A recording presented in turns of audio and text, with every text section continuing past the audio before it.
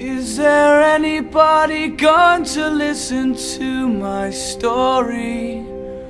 All about the girl who came to stay. She's the kind of girl you want so much it makes you sorry. Still, you don't regret a single day. Oh, girl.